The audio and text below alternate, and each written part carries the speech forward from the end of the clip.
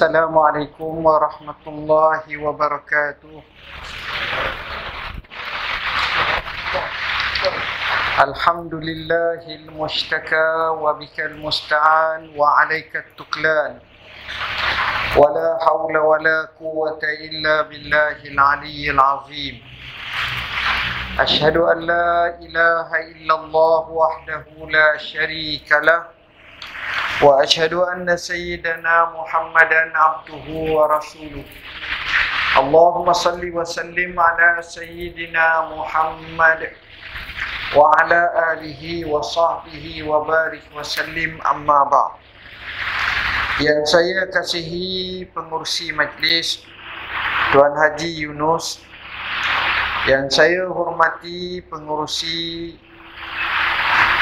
Haji Muhammad Rifai bin Haji Abdullah yang saya kasihi penaung masjid Datuk Wira Haji Mustazah Haji Usman yang saya kasihi penasihat masjid Datuk Haji Hassan Haji Ismail Ashabul Fadilah Datuk-datuk yang saya kasihi sekalian Ahli Jawatan Kuasa Masjid Sa'ad Ibn Abi Waqqas Seterusnya tak lupa kepada Ashabul Fadilah, Tutu Imam, Tutu Bilal, Syekhuna, seterusnya tuan-tuan guru, para alim ulama, orang-orang besar kawasan ini, muslimin, muslimat, hadirin, hadirat yang dirahmati Allah sekalian.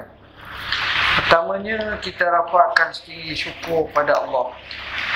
Kerana sesungguhnya Nikmat yang Allah kurniakan pada kita tak terhitung banyaknya.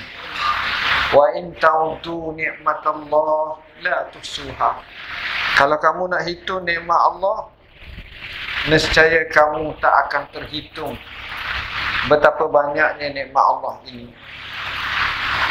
Hadirin hadirat muslimin muslimat yang dirahmati Allah tidak terlalu lewat untuk kita bincang berkenaan dengan hijrah Rasulullah sallallahu alaihi wasallam.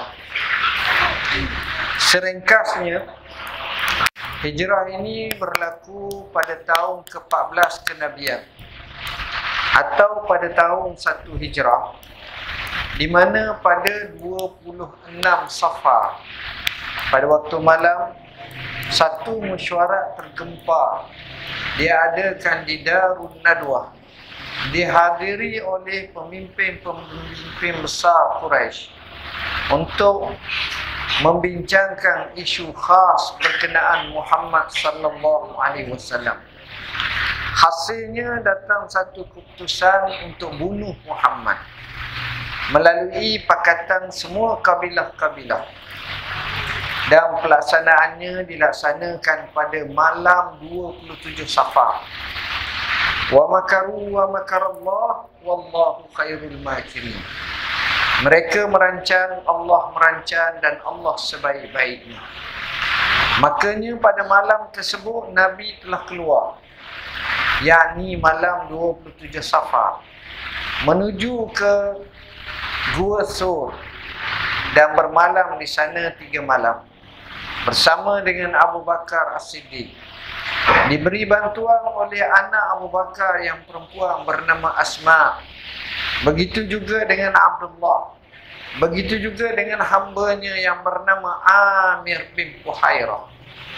Selepas reda tiga malam, bermula satu Rabiul Awal malam tersebut. Maka Rasulullah sallallahu alaihi wasallam bersama dengan seorang petunjuk jalan yang terkenal bernama Abdullah ibn Arqid atau Uraiqid. Maka berjalanlah Rasulullah SAW sehingga sampai ke Osfan, sampai ke Khulais, sampai ke perkampungan Ummu Ma'bah, akhirnya sampai ke Juhfah dan sampai di Kuba selama 8 malam.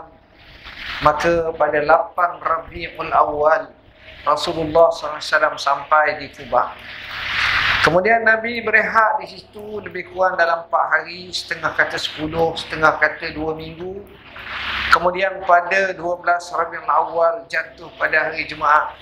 Rasulullah sallallahu alaihi wasallam keluar daripada Kuba dan hampir waktu sembahyang Jumaat Nabi sembahyang di satu perkampungan maka tempat Nabi sembahyang itu dinamakan sebagai maka tempat Nabi sembahyang itu dinamakan sebagai Masjid Jumaah. Kemudian Rasulullah sallallahu alaihi wasallam masuk ke kota Madinah.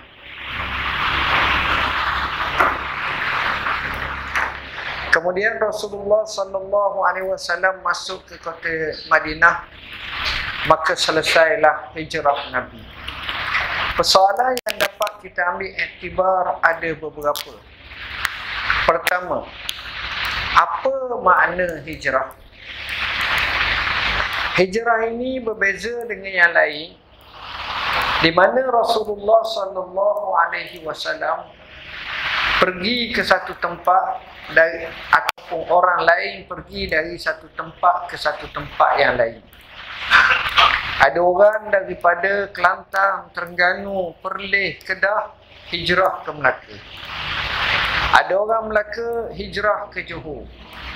Sama ada kerana pekerjaan, sama ada kerana perkahwinan, sama ada kerana ikut salah satu pasangan, maka semuanya itu berlaku. Ini maknanya pindah. Dan walaupun diistilahkan sebagai hijrah, tetapi di sana berbeza dengan hijrah Nabi yang disebut kepada Allah dan Rasulnya. Faman kanat hijratuhu ila Allah wa rasulih. Inilah yang telah dipilih oleh para sahabat. Jadi hijrah ni tuan-tuan. Maknanya kerana Allah untuk Allah semata-mata lillahi ta'ala. Ini hijrah. Dan ini telah dipamerkan oleh Rasulullah SAW dan sahabat-sahabat. Jadi hijrah ini mahal dalam hidup. Kita sewajarnya fikir. Apakah kita perlu hijrah? Jawab dia perlu. Sebab itu kalau kita tengok hijrah kepada Allah dan Rasul tidak bermakna kita hijrah tubuh badan. Kerana disebut la hijrata ba'dal fathi walakin jihadun wa niyah. Hijrah tidak akan berlaku selepas pembukaan kota Mekah pada lapang hijrah. Tapi yang ada adalah jihad dan juga niat. Memaknakan kepada kita hijrah yang hendak kita lakukan. Terutamanya zaman kita ini berdasarkan hadis wal muhajiru man hajara ma nahallahu anhu. Orang yang berhijrah sebenar ialah orang yang berhijrah dengan meninggalkan apa yang Allah larang. Jadi mujahadatun nafsi. Mujahadah lawan perkara ini suka. Kadang-kadang kita tengok kita rebah. Maka dengan sebab itu kita diajar untuk bertaubat beristighfar. Kita kena lawan dengan sungguh-sungguh. Hijrah ini natijahnya kemenangan. Membaca sejarah orang yang berhijrah mereka berjaya dalam hidup. Tetapi orang yang berada dalam satu kepompong yang sama biasanya mereka ini sukar meniti kejayaan dalam hidup Anak-anak kita yang berjaya dia akan pergi Kuala Lumpur ke bandar besar ke luar negara mencari kerja dan bila dia pulang kita rasa di kampung kita betapa berjayanya dia. Saya bertemu ramai anak-anak Malaysia di luar negara yang dipanggil sebagai diaspora yang bekerja di Bahrain, di Emirates, di Arab Saudi, di Jordan, bahkan di negara-negara lain. Dan kita nampak mereka berjaya. Mereka senang. Mereka nampak ada punca pendapatan yang selesa. Ini maknanya mereka sanggup berhijrah. Berkorban apa sahaja. Jadi si kita nak berjaya mesti dengan kita hijrah. Kedua Nabi walaupun dia benar, dia nak hijrah, dia ada perancangan. Dia ada strategi. Sebab itu dia atur tempat tidurnya oleh Sayyidina Ali. Bawa bersamanya Abu Bakar. Bekalan dibawa oleh Asma. Sehingga berjayanya misi tersebut.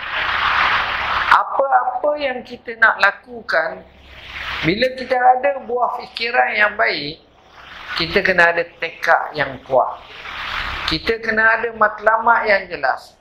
Kita kena ada strategi.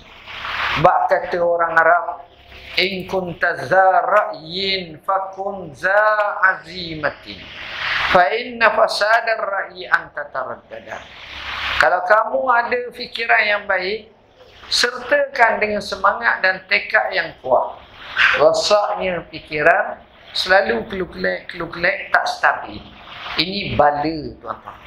Kenapa kita tak berjaya? Kita tidak ada istiqamah. Kenapa kita tak berjaya? Kita tidak memutuskan dengan putusan yang kuat. Kenapa kita tak berjaya? Kita rebah dek kerana sedikit ujian. Kenapa kita tak berjaya? Sebab kita cepat putus asa. Cepat faedah. Orang zaman dulu dia tak buat macam tu. Dia berjaya, kita tengok track record dia cukup-cukup baik. Nombor tiga. Dalam hijrah, kita tak boleh keseorangnya. Kita perlu ada pembantu yang setia. Maka Rasulullah SAW telah pilih Abu Bakar. Abu Bakar. Di mana Nabi cakap dengan Abu Bakar, pergi rumah Abu Bakar dalam situasi orang sedang tidur tengah hari. Orang Arab tak berjalan tengah hari. Jadi dia bagi tahu kepada Abu Bakar, "Inna Allah qad azina li bil hijrah." Sesungguhnya Allah Subhanahu wa taala izinkan aku hijrah. Maka Abu Bakar menjawab, "As-suhbatu ya Rasulullah." Saya nak bersahabat dengan kamu sini timbul tuan-tuan. Peri pentingnya kita cari sahabat. Sahabat yang setia. Sahabat yang jujur. Sebagai contoh, binalah sahabat itu dengan bini kita dulu. Dengan suami kita dulu. Allah sebut dalam Quran, Yauma yafirrul mar'u min akhi wa ummihi wa abihi wa sahibatihi wa bani. Hari akhirat semua pakat lari semua. Dengan abah dengan mak dia dia lari. Dengan saudara dia pun dia lari. Dengan sahabat perempuannya dan anaknya. Siapa sahabat perempuan? Isterinya. Wa sahibatihi wa bani. Maknanya bila kita boleh bina sahabat, ini penting. Siapa itu sahabat? Sahabat ni dalam bahasa mudah, sebagaimana yang disebut oleh Ibnu Atta'illahi Sakandari dalam kitabnya Hikam. Khairu man tashabu man yadulluka ala Allahi maqaluhu wa yunhiduka hali. Sebaik-baik orang yang kamu nak bersahabat dengannya, dia selalu menunjukkan jam kamu ke jalan Allah. Dia tunjuk kat ni kena buat. Kalau boleh jom kita semayang dulu. Ada hubungan dengan Tuhan. Lama kita tak belajar ilmu. Jom kita pakat pergi Mekah ramah-ramah. Jom pakat begini, begini. Jadi akhirnya telah membina satu suasana yang baik yang menjadikan kehidupannya jauh lebih baik. Allah Subhanahu Wa Taala mengajar kepada kita suruh cari sahabat yang menunjukkan kita kepada jalan. Kedua kata Ibn Atta'illah wa yunhidu kahaduhu. Kita tengok keadaan dia menyebabkan kita jadi semangat. Contoh kita makan nasi dah semangat sangat. Tapi kebetulan sama kawan ni jenis semangat makan. Oi, semangat juga kita. Kita tengok keadaan dia jadi semangat. Ini penting. Semangat dalam bab ibadah, semangat dalam bab ketaatan, semangat dalam bab perkara yang baik yang disebut sebagai wasabiqun as-sabiqun. Wa fi zalika falyatanafasil mutanafisun. Mereka belum ber. Fastabiqul khairat. Ini semua tanda orang-orang yang baik. Jadi ini sahabat kita nak cari. Jangan cari sahabat bermasalah. Disebut al-mar'u ala dini khalili falyanzur ila man yukhalilu. Seorang itu berada di atas agama rakannya. Tengok siapa dia dia kawan. Cerdik pandai kata, mu sebut kepada kami siapa kawan kamu, maka kami boleh sebut perangamu macam mana. Dia pilih kawan-kawan yang baik. Dan ini yang sepatutnya. Jadi, isu ni penting. Nampak remeh tapi penting. Poin seterusnya. Nabi berada dalam gua Su tiga malam. Orang kafir Quraisy boleh datang ke Nabi sampai depan pintu gua Su. Bukan sekadar tu, naik pula atas gua tu, atas gua tu. Dan gua tu ada berlubang sebelah atas. Kata Abu Bakar As-Siddiq radhiyallahu anhu, "Lau ra'a ahaduhum tahta qadamaihi la ra'ana." Kalaulah salah seorang daripada mereka tengok di bawah tapak kaki mereka, tak payah mengendak, tengok je. Nescaya dia nampak hubung-hubung kami pada kami. Nampak kami. Betapa dekatnya seolah-olah kurang sedepa daripada kematian. Cukup takut Abu Bakar. Tapi apa yang Nabi jawab? Nabi jawab hakikat. Abu Bakar hanya sebut mantik basyari. Logik manusia. Tengok apa. Tapi Nabi memperkenalkan kepada Abu Bakar satu ilmu iaitu bergantung pada Allah. Kata Rasulullah SAW, Ya Abu Bakrin ma zannuka bisnain illa anna Allah salisuhumah. Wahai Abu Bakar, jangan kamu anggap kami dengan kamu saja berdua ni. Allah yang ketiga. Sini timbul satu soalan. Macam mana dalam hidup kita nak menjelmakan Allah ada dalam hidup kita. Bila kita lepas daripada Allah, maka Allah berlepas daripada kita, maka pada masa itulah kalau takut kepada makhluk mengatasi kepada Allah. Nabi tak. Nabi ajar ada yang ketiga, Allah. Sebab itu seorang ahli tasawuf dia ajar kepada anak saudaranya. Dia kata kamu sebut tiga kali. Dia dia pagi ulang tiga kali, tiga kali, petang tiga kali, tiga kali, nampak stabil tujuh kali, tujuh kali. Ulang. Allahu ma'i. Allahu syahidi. Allahu nazirun ilayya. Tiga dia. Allah bersamaku. Allah menjadi saksi padaku. Allah tengok aku. Tapi katanya, selepas dia buat betul-betul, Allah campakkan dalam hatinya semayangnya khusyuk. Ibadahnya khusyuk. Kenapa? Kerana dia sentiasa di bawah muraqabah Allah. Dan inilah untuk mentahkikkan makna ihsan. Anta'budallah ka'annaka tarah fa'in lam takun tarahu fa'innahu yaraka. Kamu ibadat kepada Allah seolah-olah kamu nampak Allah. Ini maha. Seolah-olah kamu nampak Allah. Ini maha. Kalau kamu tak rasa nampak Allah, kamu rasakanlah Allah nampak kamu. Ini martabat kedua. Masalahnya kita martabat ketiga. Kita tak nampak Allah, kita rasa Allah pun tak nampak kita. Jadi kita melepas tangan. Tapi inilah yang mahal. Kesan daripada bergantung kepada Allah, ajaib banyak berlaku. Saya semasa jadi mufti dulu di wilayah Tuan. Saya punya tetamu ramai sangat boleh katakan purata setiap hari lah setiap hari dan tetamu ni silih ganti Termasuk daripada luar negara. Daripada Syria, Syam. Daripada Yaman. Daripada Jordan. Daripada Mesir. Daripada Kuwait. Daripada Arab Saudi. Daripada Palestin. Mari. Ramai-ramai ada tiga empat orang. Ada rombongan ni. Ada macam-macam. Nak cerita ada satu kisah. Biasanya kalau mari tu saya akan bercakap, saya akan tanya. Buah.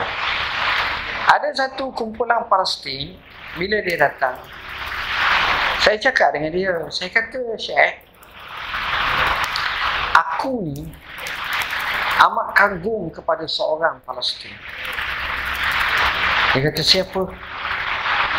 Namanya Yahya Ayyash. Bila sebut nama tu, dia kata, Masya Allah, ini orang hebat.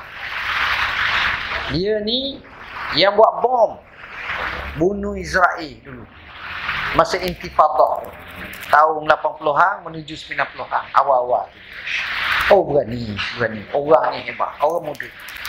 Dan dia pun mati kena bunuh lah oleh Israel.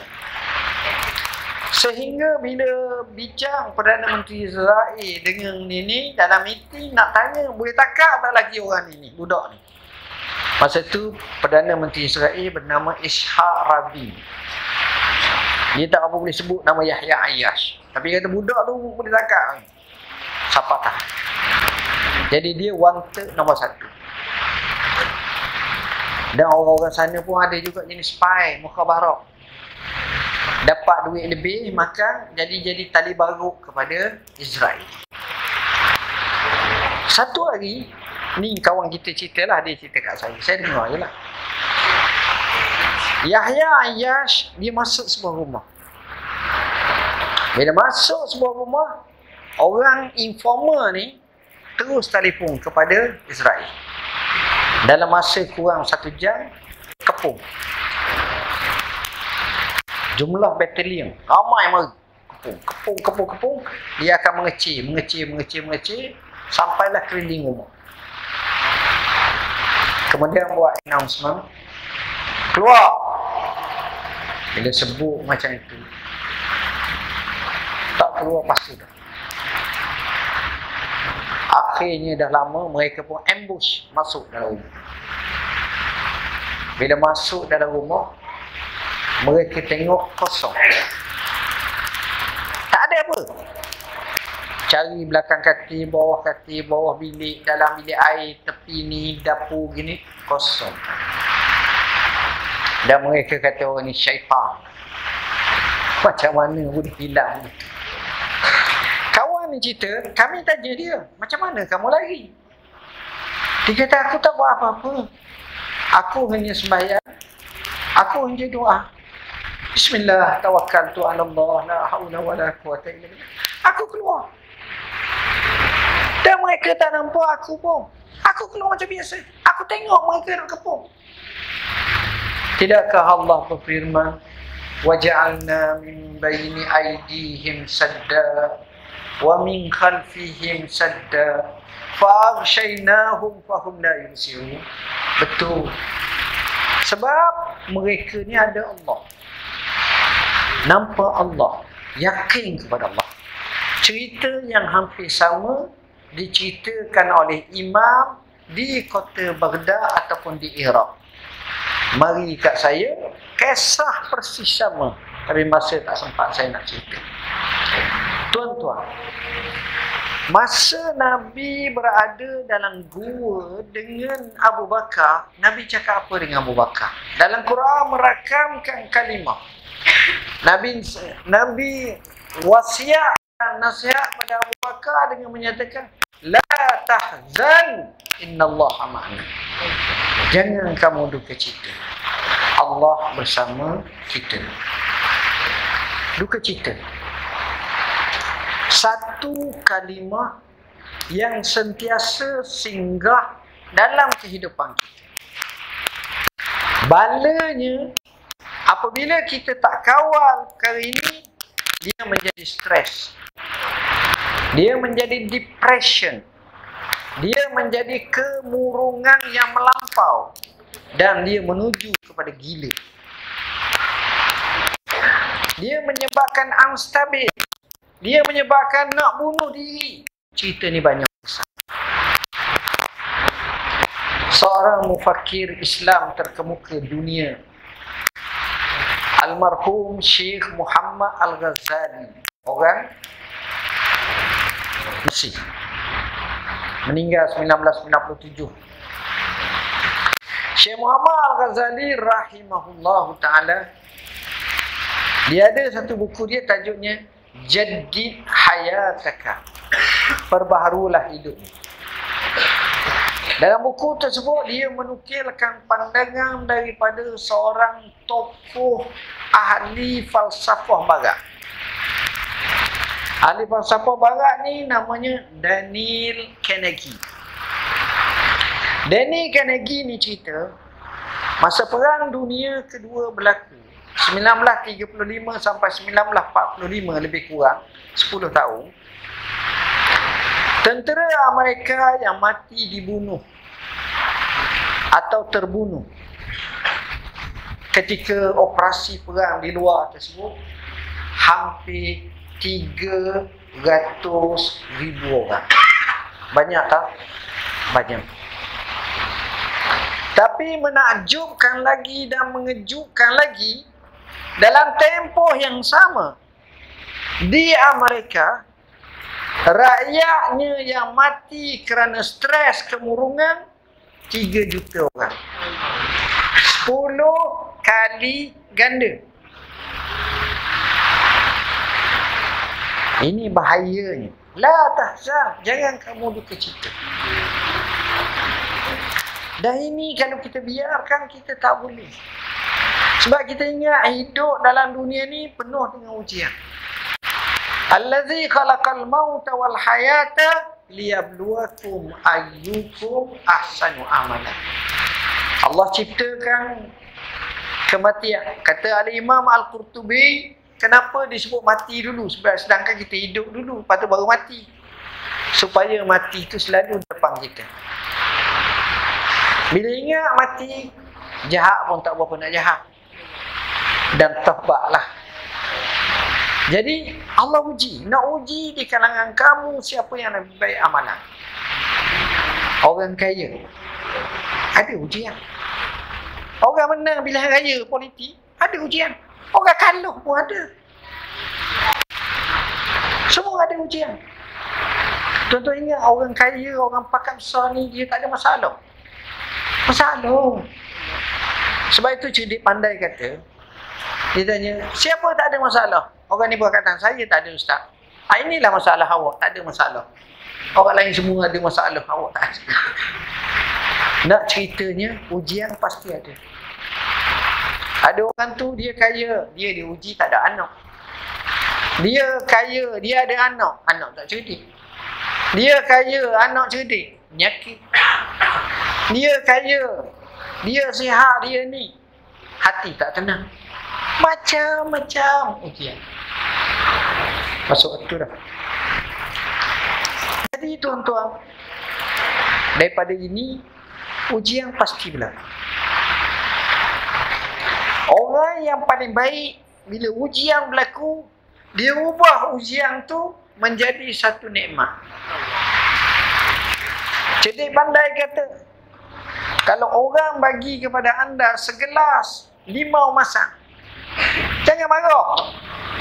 Ambil gula secukupnya, letak kacau, dia jadi minuman yang paling lazat, masa manis, sedap. Dia boleh ubah hidup. Ada seorang tu duduk di atas wheelchair, kursi roda. Duduk di hospital lama, bertahun, berbulan. Lalu doktor melihatnya dan berkata kesian ke awak wahai anak muda. Yang lain sibuk dengan melihat orang main bola di padang, boleh pergi pergi mari, awak duduk sini je. Kesian kau. Dia jawab tidak tuan doktor. Dengan sebab apa yang berlaku pada saya ini, saya telah hampir khatam Al-Quran. Mengapa? Dia tukar, dia boleh buat. Saya pernah melihat tanpa sebut di mana seorang banduan yang dia kena mandatori hampir 20 tahun lebih dalam penjara tubuh sedap saya bertemu menakjubkan dia mengambil inisiatif hafaz Al-Quran.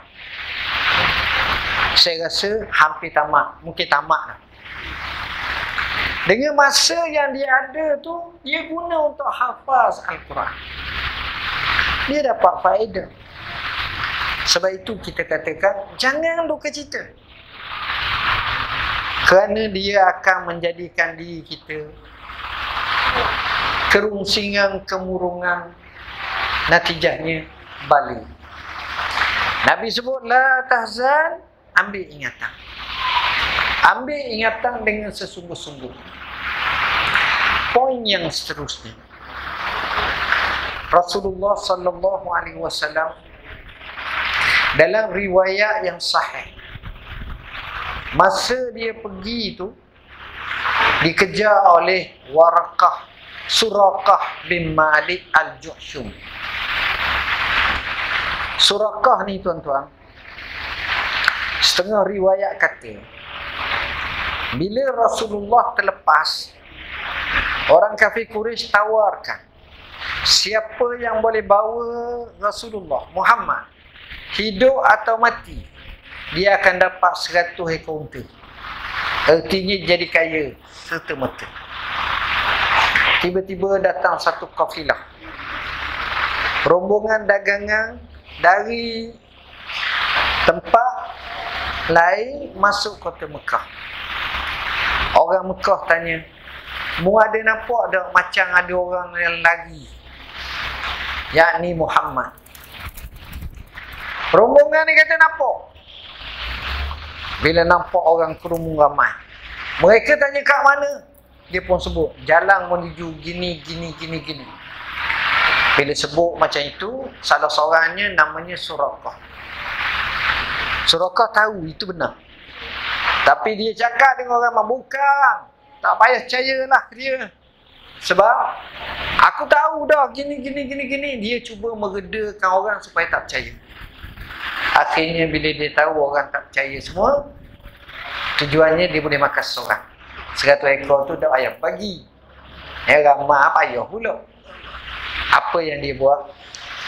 Dia pergi dekat dengan Kaabah Di Kaabah zaman tu Patung berhala banyak. Ada pula kerja Fortune teller Tukang tenun nasi Dia panggil nujum munajjim ataupun kahin ataupun arraf.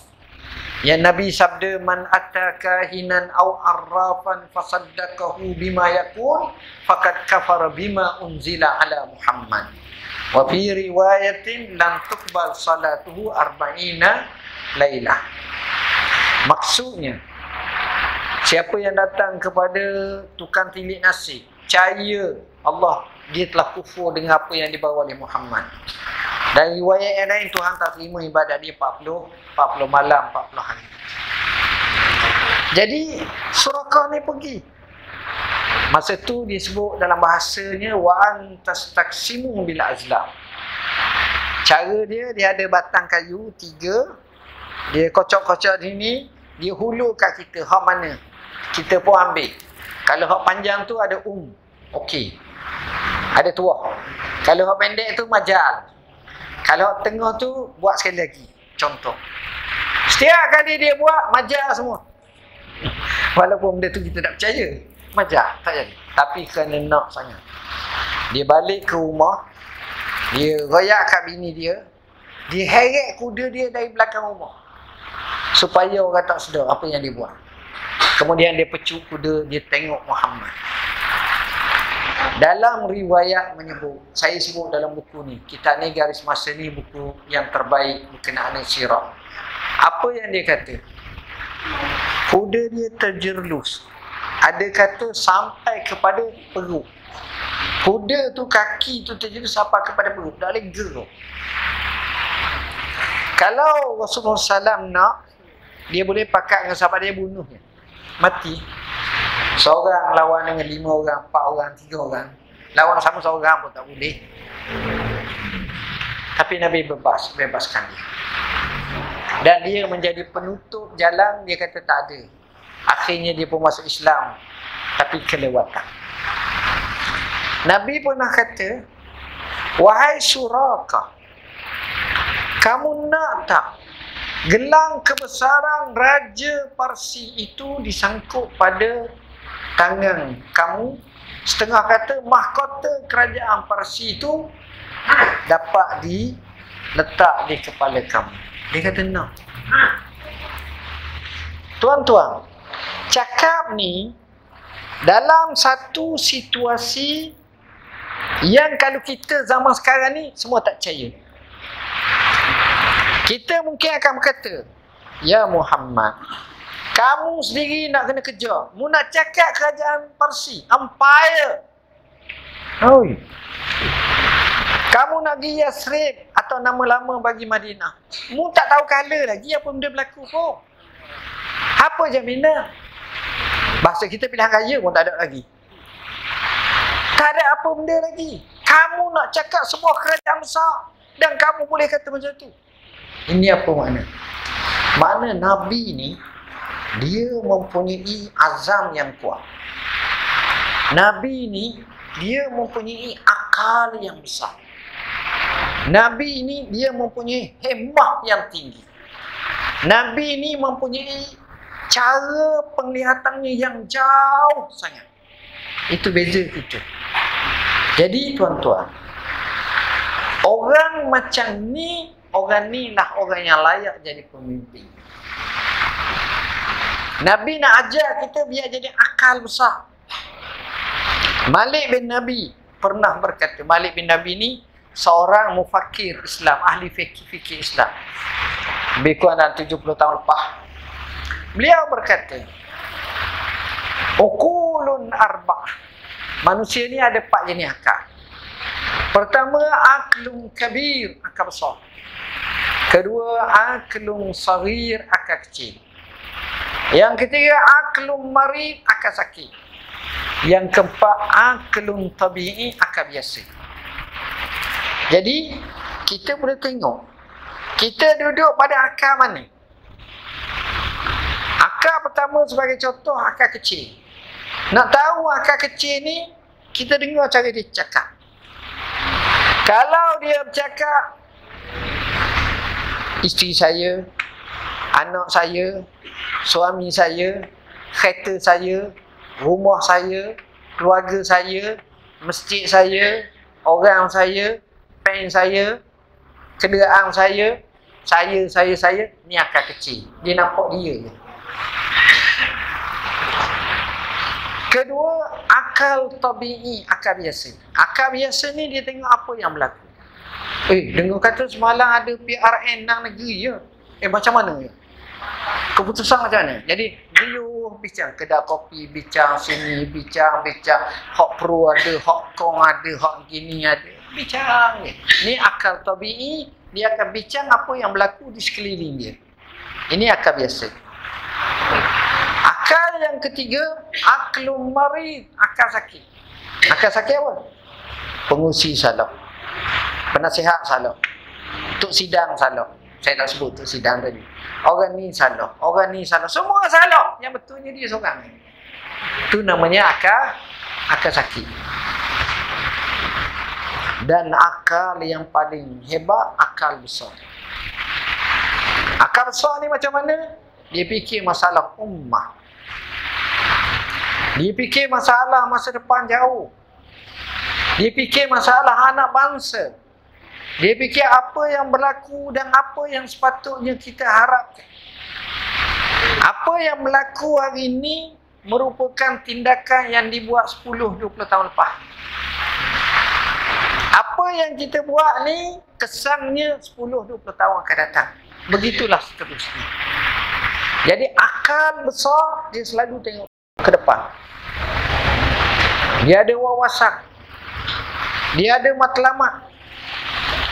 Dia ada target. Dia ada hadaf.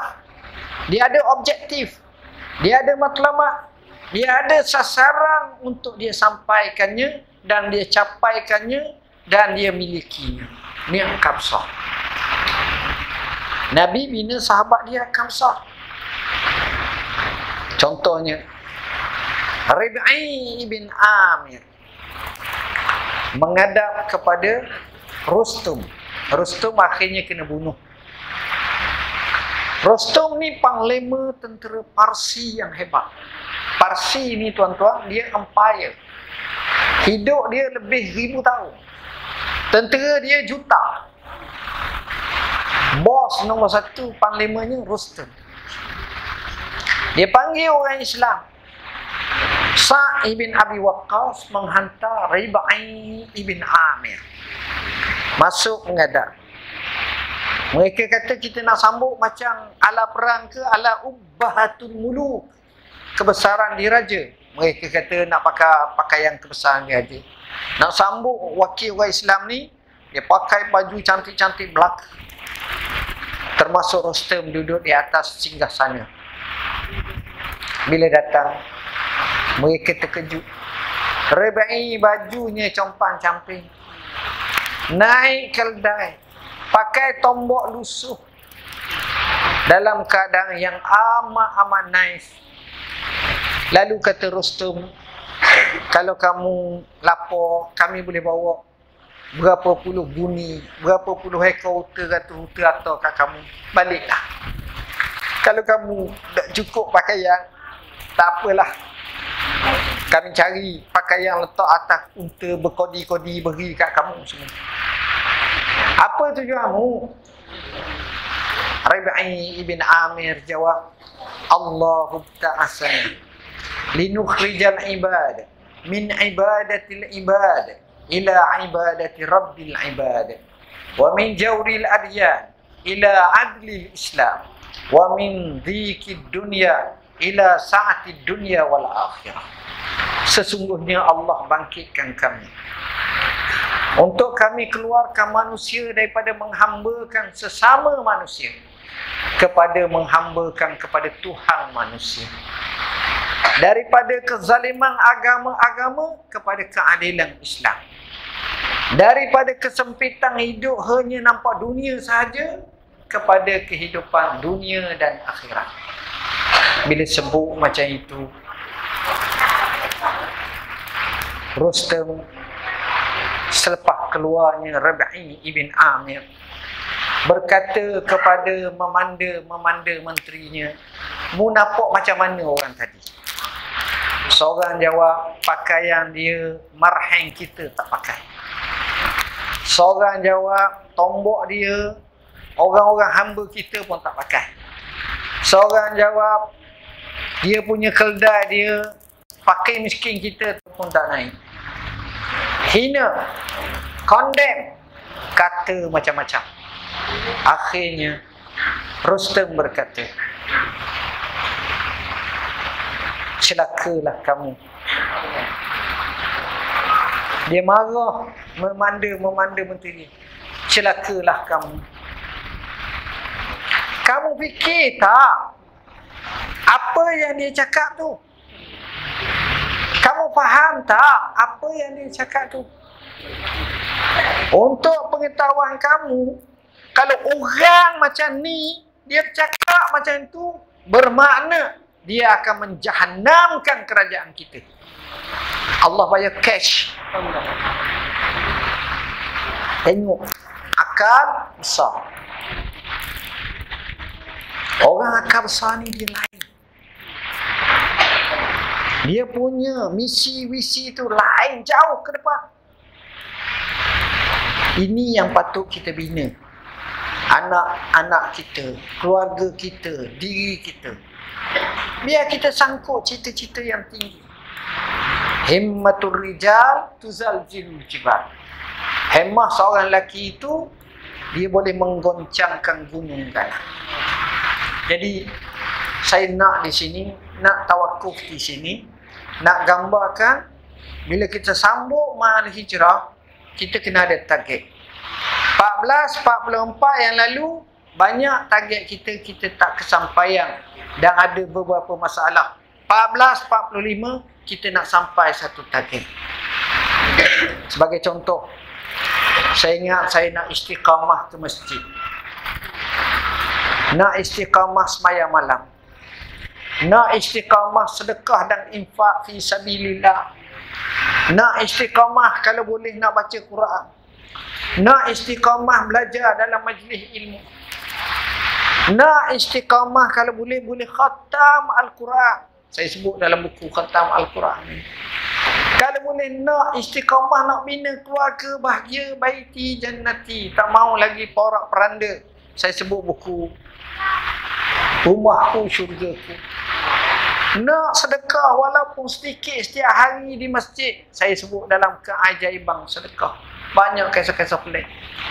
Nak sentiasa doa pada Allah. Saya sebut dalam buku inilah doa saya nak tahu nak kenal Allah nama Allah hebatnya Allah. Saya sebut dalam ini. Kita boleh cerita semua sekali. Jadi tuan-tuan jangan putus asa Jangan kita dengar orang cerita bab hijrah, kita menjadi pendengar. Kita menjadi penonton. Tapi kita sendiri tidak hijrah. Rugi. Kita sendiri kena hijrah. Kita sendiri kena ubah kehidupan kita. Inna Allah la yughayyiru ma biqaumin hatta yughayyiru ma bi anfusihim. Allah tak akan ubah nasib satu kaum melainkan dia sendiri ubah. Kita sendiri ubah. Kita nak kita boleh buat. Jangan bimbang. Kubur masing-masing tuan-tuan. Orang lain tak boleh tolong kita. Yang tolong agama kita, yang tolong diri kita, ni dari segi akhirat lah. Kita sendiri lah. Takkan orang lain nak tolong semayang bagi pihak kita? Kita. Jadi buatlah yang seterbaik. Saya rasa sekadar itulah yang dapat saya sampaikan. Mudah-mudahan ia memberi manfaat kepada kita semua. Dan insya-Allah saya doakan semoga Masjid Sa' Ibn Abi Waqqas sesuai dengan namanya benar-benar dapat menjunjung hadis Nabi sallallahu alaihi wasallam Nabi nasihat kepada Sa' bin Abi Waqqas, Ya Sa' atib mat'amaka tustajab da'wati. Wahai Sa' kalau kamu nak doa kamu mustajab, maka perelukkanlah makanan kamu nescaya pasti doa kamu mustajab dan dikatakan Sa' bin Abi Waqqas doanya amat-amat mustajab salah seorang ini jadi sekadar itu aku qauli hadza wa astaghfirullah azim li wa lakum. Mohon maaf bahasa yang saya guna kurang sesuai sikit terkasar dan tidak menasabah untuk khalayak orang-orang ini mohon maaf banyak-banyak Sekian aku lukau lihaza wa astagfirullahaladzim li walakum. Wassalamualaikum warahmatullahi wabarakatuh.